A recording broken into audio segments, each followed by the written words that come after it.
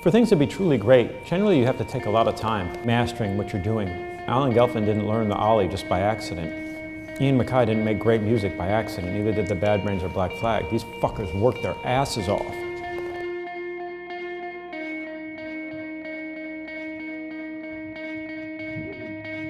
What was important is that you got to create and do what you do on your own to make yourself happy. I just did it because it was important to me at the moment. Fuck, Ryan, those little those lights down at the end not riding. It's not good. There we go. I thought that I could tell the story in a way that other people weren't. And I thought that was really important. I had this incredible sense of responsibility.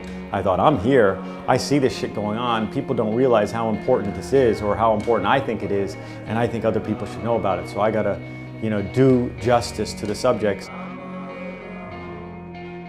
As far as I'm concerned, people should just have the books. If someone's really, really a collector and they need some fancy shit, then they gotta pay for it. What are you gonna do? Musicians and skateboarders in the same book? What's the connection? They didn't get it. How are you gonna put mostly white punk rock people with mostly black hip hop people in the same book? It's all about the fucking attitude. It's all about the attitude and the drive and the heart. Something you all, these big fucking publishing houses, don't know anything about. What the fuck? No light on there.